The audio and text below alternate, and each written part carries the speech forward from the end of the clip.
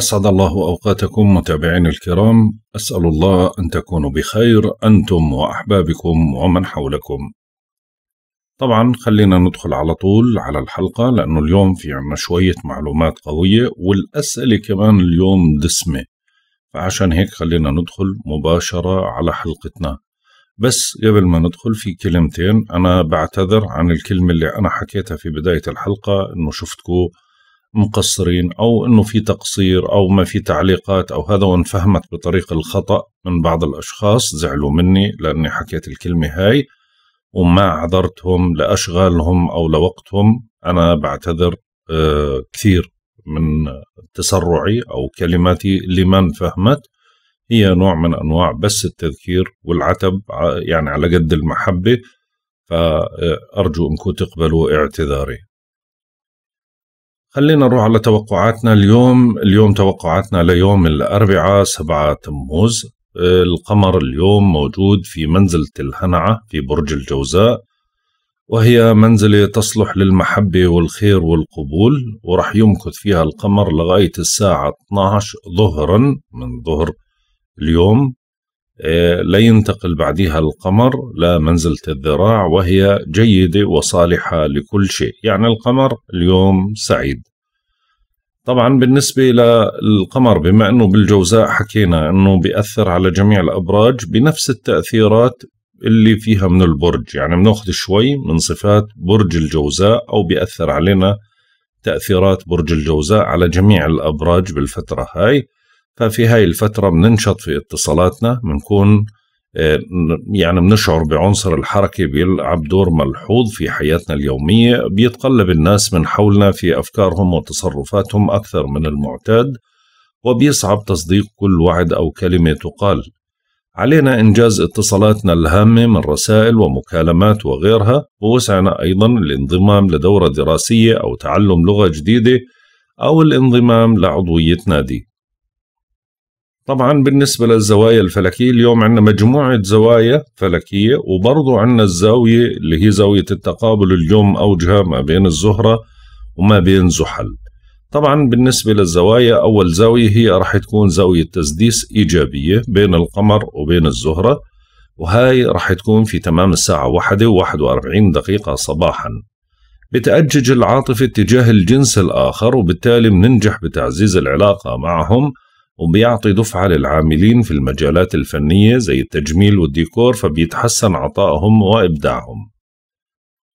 أما بالنسبة للزاوية التي تليها فهي زاوية تثليث إيجابية راح تكون بين القمر وبين زحل وهاي راح تكون في تمام الساعة واحدة وسبعة وأربعين دقيقة صباحا بتساعدنا في تنظيم شؤوننا بشكل فاعل وبتخلق لدينا حس بالشعور بالمسؤولية.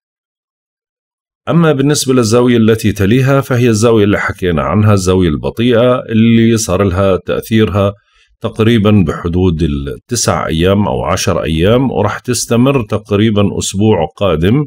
هي زاوية التقابل السلبية ما بين الزهرة وما بين زحل وهي راح تكون ذروتها الساعة 2 و35 دقيقة صباحا وبكرة في زاوية التربيع ما بين الزهرة وما بين أورانوس. يعني شوفوا يعني الثنتين الزاويتين هذول بيكملن بعض ولكن تأثيراتها متشابهة.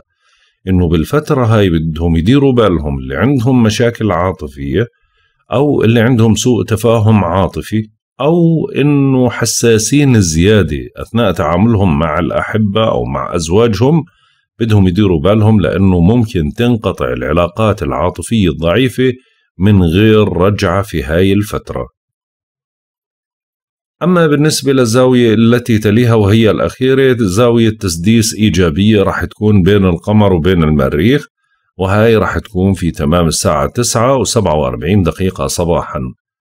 بتلوح الفرصة للتحصيل على مكسب مالي وبنندفع للاهتمام بصحتنا أكثر. طبعا القمر بما أنه موجود بالجوزاء معناته خلو المسار القادم رح يكون يوم الخميس يوم 8 7 بيبدأ في تمام الساعة 24 دقيقة صباحا وبيستمر حتى تمام الساعة 51 دقيقة بعد الظهر لا ينتقل القمر بعدها لبرج السرطان. أما بالنسبة لعمر القمر عمر القمر انحسار الهلال 26 يوم في تمام الساعة 12 و17 دقيقة بعد منتصف الليل بيصير 27 يوم نسبة الإضاءة بتصير 10% أما بالنسبة لمزاج الكواكب وطباع الكواكب لهذا اليوم الشمس في السرطان حتى يوم 22 سبعة سعيدة بنسبة 60% القمر في الجوزاء حتى يوم 8 سبعة سعيد بنسبة 80% عطارد في الجوزاء حتى يوم 11 سبعة بدأ اليوم سعادته بنسبة 15% الزهرة في الأسد حتى يوم 22 سبعة اليوم منتحس بنسبة 80% المريخ في الأسد حتى يوم 29 سبعة منتحس بنسبة 40% المشتري في الحوت بيتراجع حتى يوم 28 سبعة منتحس بنسبة 15% زحل في الدلو بيتراجع حتى يوم 11 عشرة منتحس بنسبة 40% أورانوس في الثور حتى يوم 20 ثمانية سعيد بنسبة 15% نبتون في الحوت بيتراجع حتى يوم 1 12 منتحس بنسبة 15% بلوتو في الجدي بيتراجع حتى يوم 16 منتحس بنسبة 15% وصلنا للتوقعات اليومية. برج الحمل. طبعا اليوم بتنشطوا في أمور إلها علاقة بالاتصالات الكثيرة اللي بتكون عندكم عندكم رغبة لإتمام اتصالات بكثافة وبرضه اللي عنده تنقلات أو عنده سفر أو سفر قصير برضه اليوم بينشط في هاي الأمور. أهم شيء إنك تفاوض بثقة وجراءة وحاول الدفاع عن مواقفك وقضيتك ولكن بدك تتجنب الكلام اللاذع. ممكن ما ترتاح بسبب كثافة الأعمال اليوم. حاول أنك تباكر لعملك وما تعرض نفسك للإرهاق. تتميز بالفعالية والديناميكية وبرضو ممكن تسمع اليوم جواب بيعجبك. أهم شيء أنك ما تبالغ بمصاريفك. برج الثور. بتنهم كل يوم بضبط ميزانيتكم أو أموركم المالية. بدكم تتجنبوا النفقات ممكن تهتم لأوضاعك المالية وتخوض تجربة مهمة بتمتحن موقعك وخبراتك. أهم شيء أنك ما تجازف بأموالك أو باستقرار وضعك المالي. أهم شيء أنك تتريث حتى تتوضح الأمور وما تبالغ بمصروفك. واحذر من المنافقين ورتب وضعك المالي بشكل جيد اليوم. يعني الأجواء تقريبا رح يكون بما أنه الشمس سعيدة وبرضو القمر سعيد فالفرص المالية بتكون سعيدة ولكن تحرك باتجاهها. برج الجوزاء.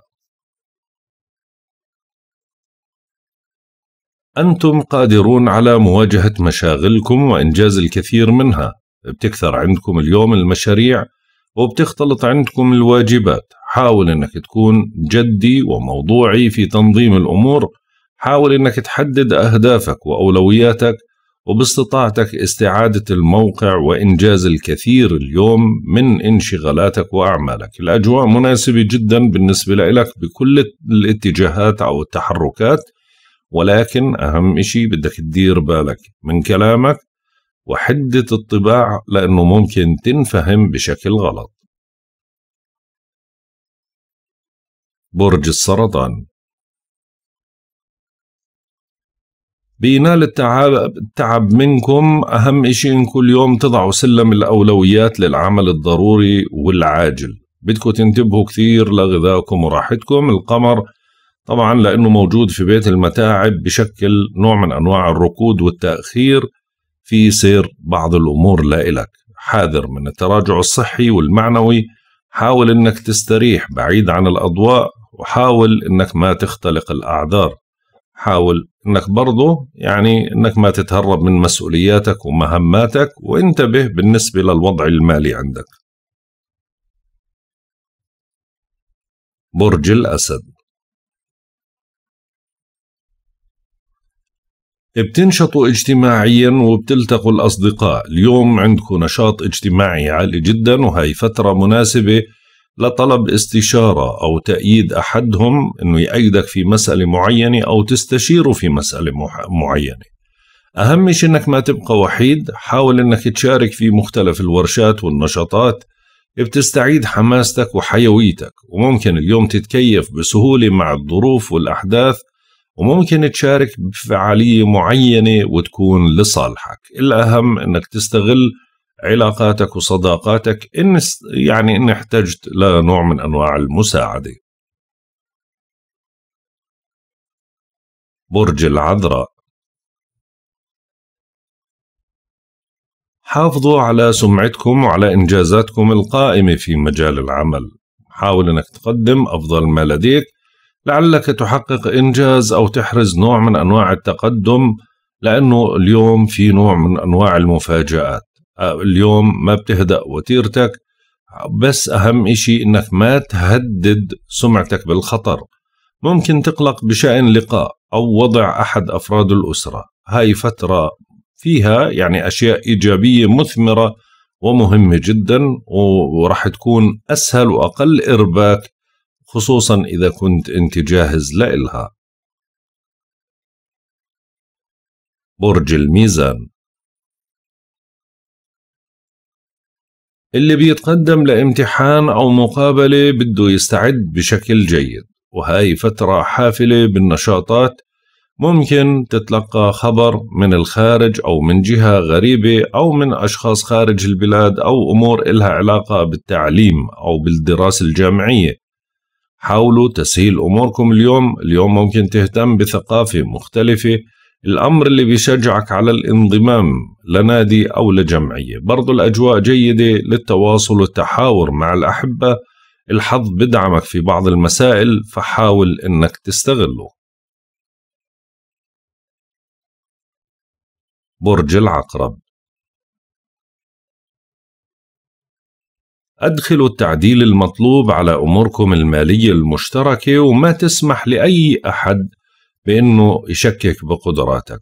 حاول أنك ما تكون جارح خصوصا بالكلام. حاول أنك تفاوض بهدوء ودبلوماسية. كون حريص على حقوقك وممكن اليوم تشعر بنوع من أنواع التحسن بالأجواء وتحصل على الفرصة المناسبة وخصوصا لتبرير أخطائك أو الأخطاء اللي حصلت في الأيام الماضية. يعني في بعض الأشياء بلشت تتحسن بشكل إيجابي. يومين والقمر بصير عندك في بيتك التاسع الأجواء بتصير أحسن وأقوى بكثير. برج القوس.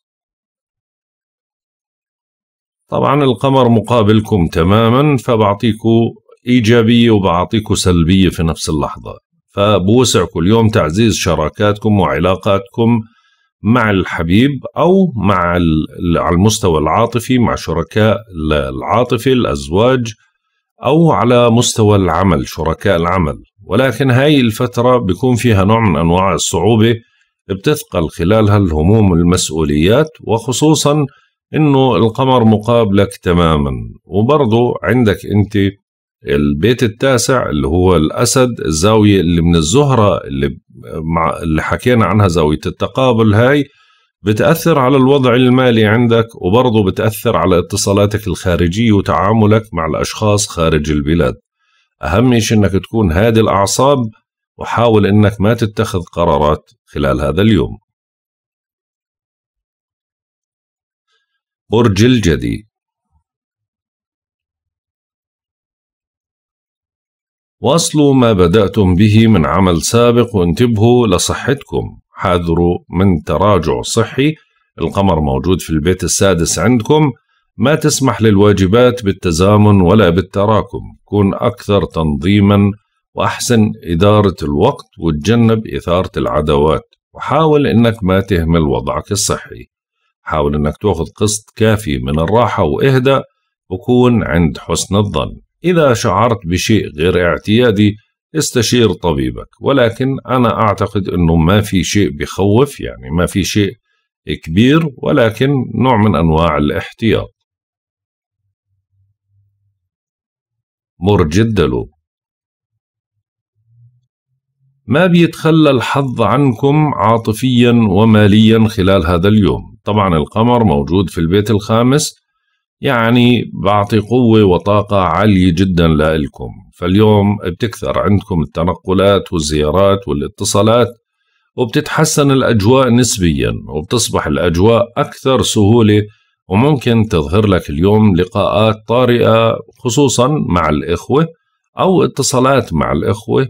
حاول أنك تقدم نوع من أنواع المساعدة والدعم اللازم فهاي فترة ناجحة ومطمئنة. برج الحوت. بتظل الأجواء لسه بتركز على أمور البيت لسه بتركز على الأمور العائلية. فعشان هيك اليوم بتنهمكوا بأمور إلها صلة بالبيت والعائلة.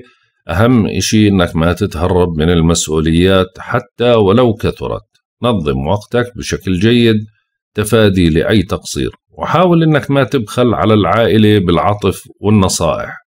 ممكن يعني شوي تكون الفترة هاي مناسبة لارتباط وممكن تشعر بالانزعاج أو القلق حول مسألة شخصية. الأهم تنتبه على وضعك الصحي وعلى عملك. ما تتراخى بالعمل عشان ما يتراكم عليك.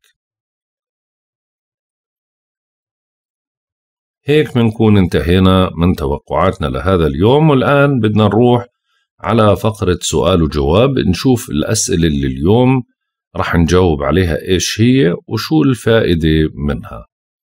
طبعا أول شيء رح نهتم فيه السؤال اللي أنا وعدت عليه. أفضل الأيام لقص الشعر خلال الفترة القادمة يعني اللي ممكن من خلالها اللي بدهم يعالجوا تساقط الشعر أو عندهم تقصف بالشعر أو حابين يعملوا نوع من أنواع التجميل بالأيام هاي. فالأيام هي يوم 12 ويوم 15 يوم 17 ويوم 19 هاي أفضل الأيام خلال هذا الشهر. بعديها القمر بصير في حال تنازل أو تصائب بصغر عن البدر فبيكون الأجواء غير جيدة لهاي الأمور. ممكن يكون معالجة للشعر الزائد أو للأمور المزعجة اللي بتحاول إنك تتخلص منها. سؤال من سلمى. شكرا لجوابك وممتنة لردك وكرمك على الإجابة العفو. بخصوص القرين هناك فرق بين البحث في القرآن بفهم المحدود لمفرداته وبين خلاصة أبحاثك وخبراتك آه، يعني الشارحة والمبسطة. وإذا أخفيت علمك خوفا من استخدامه بشكل خاطئ فشو الفايدة منه؟ معناته أنت رأيك أني أنا أعطي علمي ومش مشكلة الناس تستخدمه بشكل غلط. برضو ما بتزبط هاي القاعدة. أقصد أني بحاجة لمزيد من المعرفة حول التابعة.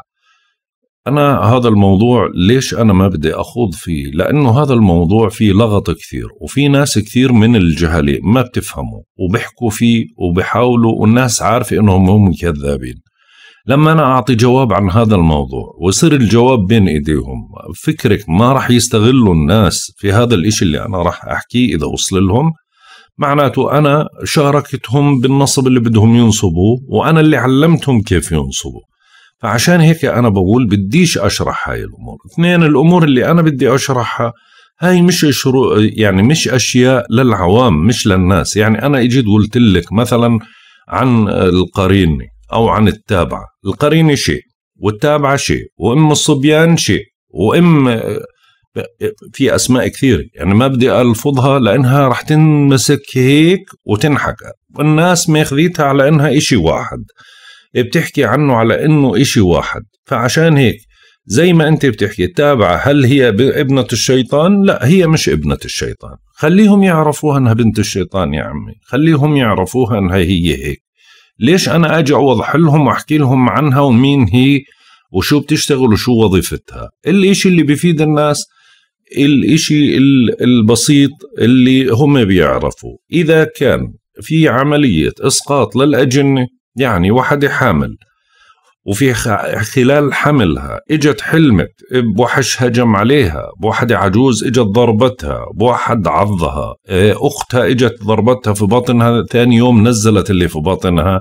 بنيجي بنقولها بالمسمى المختصر هيك هاي التابعة أو هاي القرينة. ماشي؟ بنعطيها تحصين أو تحويطة من آيات الله. اللي أنا قرأتها في الرقية نفسها الآيات اكتبيها على ورقة وحمليها إياها بتبطل تجيها. هذا وعد مني على هذا الموضوع. ولكن أجي أنا أخش بالأعراض اللي بتصيب زي سحر ومس وهاد هاي ما لهم مش علاقة في هاي الأمور. ما لهم علاقة. يعني أنا بقرأ في سؤالك وبجاوب كأني بتناقش أنا وياكي. فعشان هيك ما بعطي دلالات ما بشرحها هاي الأمور؟ خلي الناس يعني بلاش تعيش بخوف أكبر من هذا الموضوع وبلاش يستغلوا أكثر. عشان هيك أنا لما جاوبت عن الموضوع جاوبت بشكل مبهم وفي نفس اللحظة أعطيت شرح للموضوع وفي نفس اللحظة بديش أدخل أكثر بالموضوع. لو بدي أدخل بالموضوع أكثر القرآن بعطيك إيش هو القرين؟ إيش بتفهمي من القرين؟ قدرات القرين. إيش اللي بتحاسب فيه القرين حتى لو أخطأ فيه؟ لأنه هو مكلف. حتى لو كان كافر هو مكلف. فعشان هيك بده يتحاسب. في قانون بلزمه وبحاسبه قانونهم قانون الجان. بحاسبه الناس ما بتعرف هاي الأمور. أنا ليش أخوض فيها؟ ليش أنا أدخل في أشياء هم ما بيعرفوا فيها عشان أفتح مخاوف وسؤالات أكثر ويصير الناس بدها معلومات أكبر عن الموضوع وهذا الموضوع ما رح يوصلوا للنهاية فيه أو يقدروا أنهم يتعلموه. هذا العلم ما بنكتب ما بنكتب أني أجي أقول لك والله أنا كتبته في كتاب كذا روحي اقرأيه بتستفيدي منه. هذا من معلم يعني أنا تعلمته من معلمي ومعلمي تعلموا عن معلمه ومعلمه عن معلمه حتى وصلنا بديش أحكي لك يعني السلالة سلالة طاهرة ومباركة والحمد لله رب العالمين ولكن إنه هاي الأمور إحنا ما باجي أنا بعلمها بس بعلمها لطلابي. ومش لكل طلابي للطالب اللي أنا أجد فيه الأمانة أنه يأخذ الموضوع ويحارب هدول العناصر يحاربها ويردعها ويحط لها حدود ويمنع أذيتها عن البشر. بس ما بعلم البشر شو هم ولا بعلمهم كيفيتها لأنه فورا بده يصير في نوع من أنواع الاستغلال لهاي الأمور إحنا ما بدنا ندخل فيها. طيب شو كمان؟ الكلاب والغوريلا وهاي كلها هيني أنا جاوبتك عليها قبل ما أقرأها. طيب هل السحر وأنت اليوم عن هذا الموضوع هل السحر أتحدث عن السحر تعطيل خصوصا آه، يغلب على الحظ أو النصيب الإنسان في الرزق والزواج؟ مثلا لما بيقولوا مكسب أو ربح آه، بيتحقق أي شيء بسبب ما بيتحقق أي شيء بسبب السحر. آه، أتوقع أنه هذا خطأ. اعتقادي الشخصي أنه لا شيء يمنع رزق الله. بالعكس أراه شرك. ولكن اعتقاد كثير من الناس حولوا أنه السحر, السحر بيمنع الرزق والزواج. آه، ف في اعتقاده صحيح من وجهة آه، نظرتك وواقع خبرتك. وشكرا مقدما. طيب أنا بدي أجاوبك. أول إشي هو لا يمنع الرزق إلا الله. ولا يوصل الرزق إلا الله. الآن هذا سحر التعطيل. يعني شوفي أنا ارتجاليا بحكي معك. فهذا سحر التعطيل بما أنه بده يعطل زواج أو بده يعطل رزق ما بيجي بوقف في نص الطريق ما بين الشخص المطلوب الطالب والمطلوب وبروح بقول للطالب روح روح. هو بيجي بيأثر على المطلوب يعني على العروس مثلا أو الزوجة هاي اللي بدها تنخطب بيأثر عليها لدرجة إنها بتصير تشوف هذا العريس قرد بتشم له ريحة بتتضايق بصير بتقلب مزاجها بتصير عصبية بتصير حساسة زيادة. من أي موقف ممكن تأخذ على خاطرها بتلف ظهرها وبتدخل على غرفتها أو على بيتها أو على هذا وبتقول ما بدي إياه. الآن مين اللي رفض؟ هو اللي بينفذ السحر هو اللي رفض. هو نفذ أوامر معينة خلى الشخص يرفض.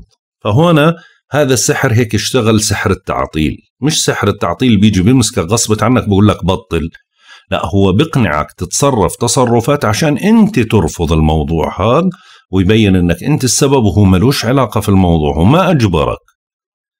وصلت؟ هاي وحدة. ليش؟ لأنه هو برضه بده يبرر بده يبرئ حاله عشان ما يتحاسبش عشان انت اللي تتحاسب على الإشي اللي عملته لأنه بكرة بدك تجحد وتقول أنا ما جانيش عرسان اللي اجوني مش مناسبين فعشان هيك هو بده يبرئ حاله هو أذكى من الإنس في هاي النقطة لأنه هو عنده علم كيف يستفز الأمور هاي. هذا واحد. اثنين بالنسبة لرزق المال كيف بمنع رزق المال؟ هو ما بيجي بوقف وكل زبون بده يدخل على المحل بضرب الزبون كف بقول له روح روح. لا هو بدخل الزبون بس قبل ما يوصل الزبون يدخل على المحل بيجي بيشغلك بشيء بخليك تعصب بخلق لك مشكلة بخليك آه، تتوتر آه، بخليك تنشغل بتليفون بخليك تنشغل بأي شيء بدخل الزبون بشوفك أنت مش مهتم بسحب حاله الزبون وبطلع. أو بخليك تطمع ترفع السعر الزبون بسحب حاله وبطلع.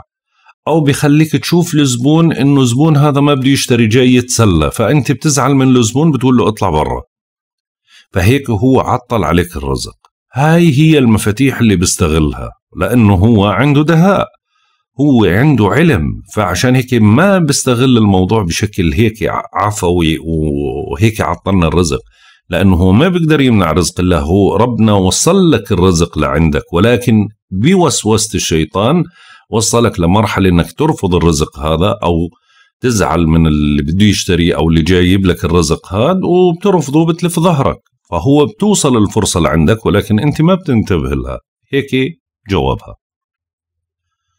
سؤال من دينا جمال. الله يسعدك يا صديقتي. دكتور فضلا وليس أمرا. يا ريت تذكر اسم لمولود ذكر آه، لأنثى جدي آه، بقيصرية قريبة. من الأسماء آه، المحضرة هي اسم عز ويزن وزين وأبي وأواب ودانيال. أتمنى تتكلم عن الأسماء وتفيدنا. ولك جزيل الشكر والثواب آه، وثوابك على الله. الله يبارك فيك. آه، راح أعطيك أنا أسماء وأحرف لبرج السرطان. الآن إذا هي ولدت قيصرية ما بعد 22 شهر أنا ما لي علاقة في الموضوع. هذه تصلح لمواليد برج السرطان ذكور. خديها آه، مثل ما هي. كل الأسماء اللي أنت ذكرتيها هاي ولا إشي بيتناسب مع هذا المولود. ماشي؟ الآن خذي الأسماء هاي. ممكن تأخذي الحرف وتحاولي تركبي عليه اسم ولكن أنا بدي أعطيكي أسماء جاهزة أنت ممكن يعجبك إشي منها أو الأم يعجبها شيء منها وتسمي منها ولكنها منتقى ومحسوبة عشان ال ال كل مواليد السرطان اللي بيجيهم أولاد في أي فترة في أي سنة وبدهم يسموا أبنائهم بأحرف أو بأسماء هاي الأسماء تصلح لهم نبدأ حرف الباء بعطيك اسم بسيل وبديع وباقر وحرف آه، حرف التاء آه، تركي وتوفيق وتمام. حرف الجيم. جابر وجلاء وجاسر. جلاء بالهمزة آخر إشي وجاسر. وحرف الذال. طبعا هاي الأسماء ممكن شوي لأنه الذال صعب الأسماء فيه ولكن أهل الخليج بيعرفوا شو معناها. ذبيان وذمار. هدول اسمين قويات. حرف الغين آه، غادي وغامر وغازي. حرف الفاء فرات وفاروق وفضل وفجر. حرف اللام لؤي ولبيد ولطيف. وحرف النون نايف ونبيه ونزار. وحرف الهاء هاني وهائل وهمام. وحرف الياء يوسف ويعقوب ويونس عليهم السلام. بالنسبة لصديقتنا لين بتسأل بتقول آه، إحنا قدرنا ظروفك وشكر وتقدير بارك الله فيك يا لين. خلينا أدخل على سؤالها. حضرتك أنا اسمي هند مسجل آه، دفتر العائلة ولكن بنادوني ليندا طيب ولا أعرف أي الاسمين أكثر حظا لي. أنا مولودة بتاريخ 29 12 يعني جديد طيب أنا أحكي لك. أول إشي بالنسبة لإسم هندا هو ناري. وإسم ليندا برضه ناري. ماشي؟ الاسمين طبيعتهم ناريات. ولكن الاسم الغالب على الطباع هنا بدنا نشوف نحسبهم. اسم هند بيغلب عليه طبع المريخ. فعشان هيك بيعطي صفاته الشجاعة والإقدام حب المنافسة ولكن من سلبياته الجدال والقسوة والتسرع.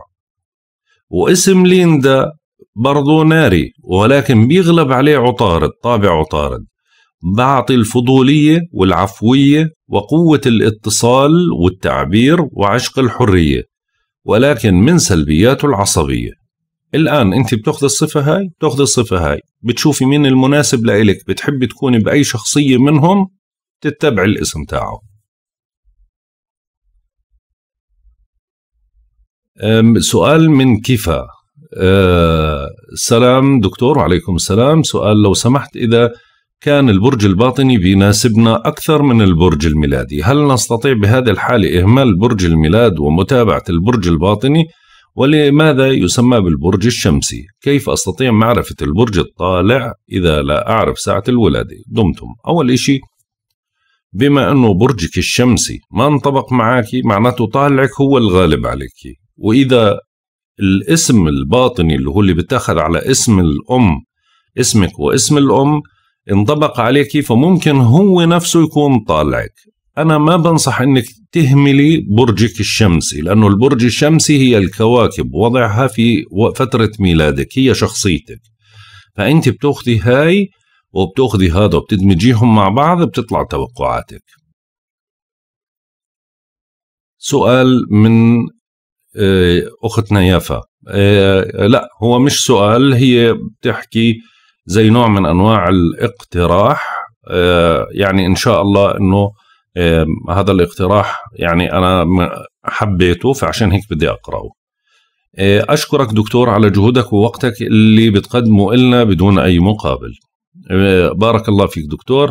أليس من الضروري تدريس علم الفلك وجعله في متناول العامة؟ طبعا أكيد. لا يمكننا من خلال معرفتنا بهذا العلم ألا يمكننا من خلال معرفتنا بهذا العلم توجيه أولادنا والعمل, والعمل على نقاط الضعف الموجودة بخرائطهم الفلكية من خلال تدريبهم على مهارات معينة تعينهم على تخطي الصعوبات والعوائق أكيد مية في المية. ألا تعطينا الخارطة الفلكية نبذة عن صفاتهم وطبائعهم فتفيدنا في طريقة التعامل معهم لتعزيز استقرارهم النفسي لك كل الاحترام. كلامك مية في المية صحيح وهذا هو علم الفلك الصحيح. يعني انوجد علم الفلك لأجل هاي الغاية بالنسبة العظمى وهذا اللي أنا حابب أوصله للناس إنهم يفهموا يحسبوا الخارطة الفلكية بطريقة إنهم ما يلجأوا لأي واحد من النصابين ومن خلالها يقدروا يبنوا مجتمع أو جيل جديد هذا الجيل مبني على علم ودراية هذا العلم مع العلم النفسي. تدمجوهم مع بعض فبتصير أنت ربيت جيل رهيب عظيم بنرفع روسنا فيه. هذا هو المقصود. هذا أعظم اقتراح أو أحكي لكم يعني آه، تعليق من الأشياء اللي محببة لقلبي. والفكر هذا أنا هذا الفكر اللي أنا بحبه وهذا الفكر اللي أنا بدي إياه. الكل بدي إياه يكون بهذا التفكير. يا ريت يا ريت. بتمنى. شكرا لك كثير على هذا التعليق. آه، سؤال من نجمة البحر. لو سمح الدكتور بنتي مواليد 15 8 1997 بعد منتصف الليل بقليل طالعها ممكن يكون جوزاء. المهم أصيبت بسرطان الحنجرة سنة 2008 ألف سلام عليها. واستأصلنا الحنجرة والحبال الصوتية وفقرتين من القصبة الهوائية كادت أن تموت إلها حياة. آه، أنا سمعت إنه في علاج عن طريق الفلك. أوعي أوعي خطيتك في رقبتي. الفلك ما بيعالج. الفلك بدلك على أوقات للعلاج بدلك على أوقات تستغليها. الفلك ما بيصنع معجزات الفلك هو عبارة عن واحد بخليكي تشوفي اللي ما حدا شايفه. يعني تحسي تحسي بالشيء. كيف اللي بقول لك؟ اعقل وتوكل. هي هذه المسألة. بس إنه أنا عندي علاج أخذ الوقت المناسب للعلاج. عندي مراجعة طبيب هل الفترة هاي مناسبة لمراجعة الطبيب ولا لا؟ عندي عملية الفترة هاي تصلح للعمليات ولا لا تصلح للعمليات؟ أما إنه الفلك بيعمل لك إشي عشان يغير هذا الموضوع اوعي نهائيا هذول كلهم كلهم نصابين ومحتالين. هذول بس بتطلعوا على بنتك لا بهمهم صحتها ولا بهمهم تعيش تموت شو يصير فيها؟ بهمهمش. بهمهمش معك مصاري ما معك فلوس بهمه في النهاية يأخذ فلوسك. لأنه في النهاية هو بده يستغلك بس. فعشان هيك بقول لك أوعي. بنتك إن شاء الله هاي برج أسد. ما تستهيني فيها. برج الأسد قوي جدا. بقع وبرجع بوقف مرة ثانية. أرقامها ممكن هي اللي شوي أثرت عليها بحياتها. ولكن ما تيأس حاولي تحكي لها هذا البني آدم اللي قاعد بحكي معك. أنا عمري الافتراضي في مرضي أنا كان ثلاث سنوات. يعني كانوا الأطباء من 11 سنة قالوا أنت ثلاث سنوات وانتهى وأنا طبيب عارف شو الوضع تاعي. ورغم هيك ما سيطر علي وما مسكني وما استسلمت وهيني قاعد بحكي معك. هذا الموضوع أوعي أوعي. خليها تأخذ ثقة في نفسها قد ما بدها. تعمل اللي بدها إياه تطلع. تطلع وتدعس على الدنيا وما تسألش. هي هي الأهم. ما دام موجودة على الدنيا معناته ربنا بده منها إشي. هي موجودة لأجل غاية ربنا وجدها فيه. لما تنتهي هاي الغاية وخلص شغلها بتسحب حالها وبتطلع من الدنيا. ممكن أنت إلك شغل معاها ممكن أبوها له شغل معاه ممكن أخوها. فطالما إلها شيء في الدنيا رح تضل موجودة. أوعي تخليها توصل لليأس وأحكي لها. خليها تسمع.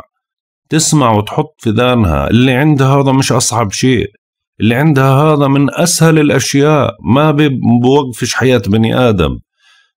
بما أنها عانت من مرض السرطان في 2008 هاي كانت صغيرة. تسحب حالها تروح على مركز الحسين للسرطان. تروح على مراكز السرطان تتفرج الحالات اللي موجودة. تشوف الأورام كيف كيف تطورت. تشوف الإشي اللي له علاقة بالأنسجة إشي له علاقة بالجينات الوراثية إشي صار تتفرج عليهم وتشوف عن وضعها هي تضحك على حالها بعدين. أسأل الله إلها الشفاية والكفاية والسترة والنصرة وإنه ربنا يشفيها ويكون معها. هي وكل مريض محتاج الدعاء. وإذا هي بحاجة إنها تتكلم معي يا أختي هي رقمي موجود في صندوق الوصف ابعثي لي قولي لي أنا أمها وأنا أنا راح أكلمها. أنا بكلمها مستعد إني أكلمها وما ما تيأسي ولا هي تيأس. سلمى مرة أخرى. الله يسعدك يا سلمى. والله بحب أمزح معك لأنه أنت شوي هيك بعد مرات بتطلعي لي بأسئلة يعني بحب إنه آه، أجاوب عليها وبحب أناقشك فيها. بس في أشياء ما بحبش أناقشك فيها بحب أتجاهلها يعني. آه، الآن قمت بحساب أرقام كل العائلة. أغلب اللي أرقامهم ثمانية. حياتهم ماشية طبيعي. زي غيرهم. أما آه، آه، إن إنما كان أحسن أعرف شخص. آه. إن ما كان أحسن أعرف شخص من برج الجدي. ماشي؟ ميلاده 17 يناير. 1979 يعني هذا يسري زحل في دمه. طيب وحياته حلوة وناجحة بعكس كثير من جيله. ربي يديم عليه. اللهم آمين. أعتقد موضوع زحل وهم وفقط وفقط الصدفة بتلعب دور شفتي أنت ناقضتي نفسك وأنت ما سمعتي أنا شو حكيت؟ وهيك ناقضتي نفسك بنفس أسلوبك. يعني دائما أنت بتقطعي البين ما بتركزي مزبوط في اللي أنا بحكيه. أول إشي أنا في الحلقة اللي حكيت فيها عن رقم ثمانية قلت إنه رقم ثمانية إذا كان الشخص هو زحل ولكن إذا الشخص بيحمل رقم ثمانية أو كوكب رقم ثمانية بيكون كوكب حظه لأنه هو رقم ثمانية رقم الحظ تبعه ثمانية اللي هو زحل وبرجه زي الجدي مثلا بكون كوكبه زحل فبكون مناسب لإله. فما بالك هذا جدي ورقمه 17 7 1 هي 8 يعني 8 رقم حظه بيومه وجدي زحل ورقم حظه 8 فأكيد بده يكون وضعه ممتاز بفضل الله عز وجل. فمش وهم. هي أنت اللي أثبتي إنه مش وهم بس عشان تركزي. الله يسعدك. طيب سؤال. الله يسعدك ويحفظك دكتور. عندي سؤال بخصوص توأم الروح. مع إنك قلت إنك ما بتآمن بقصص الحياة السابقة ولكن شو تفسير ظاهرة توأم الروح؟ وهل آه، يحس بها كل الط... كلا الطرفين أم طرف واحد فقط؟ والسؤال الثاني عمن يرى في أحلامه قرينه. الله آه، يقضي لك جميع حوائجك اللي في قلبك ويقضي لك جميع حوائجك اللي في قلبك ويقضي لك الحوائج اللي أنت مخك ما وصل لها. آه، طيب أنا بدي أجاوبك. أول إشي أنا هاي توأم الروح ماشي؟ اللي هو الجزء إنه أنا لا أؤمن بالحياة السابقة وإنها انتقلت وتوريث وهاي الأمور أنا لا أؤمن فيها. خلص اللي بموت بروح على عالم البرزخ. مناش علاقة في هذا الموضوع. ولكن توأم الروح انفهم غلط. فعشان هيك أنا أجلت الكلام عنه. توأم الروح أو توأم الشعلة أو الأسماء هاي كلها اللي بتنحكى ما إلها علاقة في اللي بنحكى. هذا توأم الروح إنسان موجود على الأرض. شخص موجود في الحياة. هذا الإنسان أنت تلتقي فيه بكون توأمك بالروح. توأمك بالروح. يعني روحك وروحه ثنتين جزء واحد قسم واحد. تنطبق العلاقة بينكم. فعشان هيك بتشعر كأنه أنت وياه فولة وانقسمت من النص. تنطبق كل شيء حتى انكم اثنين بتستغنوش عن بعض. بتصير حياتكم مشتركة. ونياله اللي بيلاقي توأم روحه في هاي الحياة. فمش توأم روحه بالمقصود اللي قالوه إنه هو الشخص الجزء الآخر لما بكون ميت وأنت بتأخذ من روحه بتنتقل جزء من الروح لهون فأنت بتصير تحس بالروح القديمة والروح. هذا كله حكي فاضي تأخذيش فيه. أما عن سؤال عمن يرى في أحلامه قرينه شو عرفك إنه قرين؟ يعني إيش عرفك إنه هذا القرين؟ ممكن أنت حاضر فيلم ممكن أفكار ممكن خوف. ممكن آه، يعني يهيأ لك أشياء معينة في الأحلام فمئة ألف حساب لهاي الأمور فما بتأخذ فيها. أما يجي قرين ويحكي معك أو يتكلم يعني على حسب الموضوع على حسب الأشياء في مئة ألف شغلة ولكن القرين ما بيجي بالأحلام للعلم يعني. إيه، سؤال يا دكتور عندي عتب كبير جدا. هذا سؤال من معتز. يا دكتور عندي عتب هناك عتب كبير جدا عليك. ما هو السبب؟ قد سألتك أكثر من خمس مرات ومنها موضوع حساس ولم تجبني. ما هو السبب؟ إذا تكرمت تجاوبني تواضعا. دمت بخير. دمت يا حبيبي يا معتز. سؤالك اللي أنت سألت عنه أنا متذكره تماما. يعني أنا ما بنسى بفضل الله عز وجل وبظل حافظ. سؤالك اللي أنت سألته عن الساعة المناسبة في يوم الجمعة وأنا حكيت عنها في حلقة قلت ما بقدر أنا أعطي هاي الساعة لأنه أنا في الأردن الشروق عندي وقت والغروب عندي بساعة ولكن اللي في الخليج تختلف عنده الساعة اللي في مصر تختلف عنده الساعة. فإذا بدي أعطي حساب للأردن وأقول لك هذا هو الحساب حسب بلدي فأنت ما رح ينطبق معك ما رح يناسبك فعشان هيك ما بقدر أعطي أنا حساب لكل دول العالم عن ساعة الزهرة وساعة المشتري في يوم الجمعة لأنه بتختلف من بلد لبلد. بحاول إني أجد برنامج قلت إني بحاول أبحث عن برنامج إما إنه بسهل عليك الطريقة هاي هو بيطلع لك إياها محسوبة وجاهزة أو انت بصير سهل عليك عملية حسابها من خلال جدول أنا راح أعمله. فإن شاء الله يا هاد يا هاد بس يتوفر أنا راح أنزل لكم رابطه وأحكي لكم عنه عشان أنتم تستخدموه. وأنا أنت يا معتز أخ عزيز وعتبك أنا بالعكس يعني مقدر الإشي اللي أنت حكيته. أنا حكيت إنه في أسئلة شخصية أنا ما بقدر أجاوب عليها لأنه اللي بيجي بيقول لي أنا طالعي كذا أنا بصير معي كذا هذا موضوع للعامة ما بيهمهم.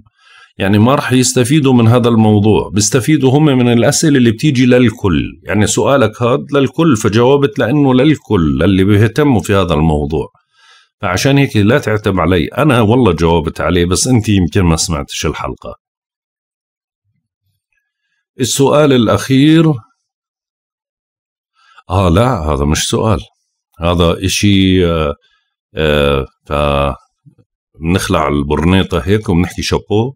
آه لا علي فضل. آه يعني اليوم ما شاء الله في أشياء حلوة آه، أسعدتني كثير. آه علي فضل. أتمنى أني أنا قرأت الاسم صح. آه، أستاذ سعيد ربي يوفقك ويشفيك ويعافيك ويسعدك وأنت كذلك وكل المرضى إن شاء الله.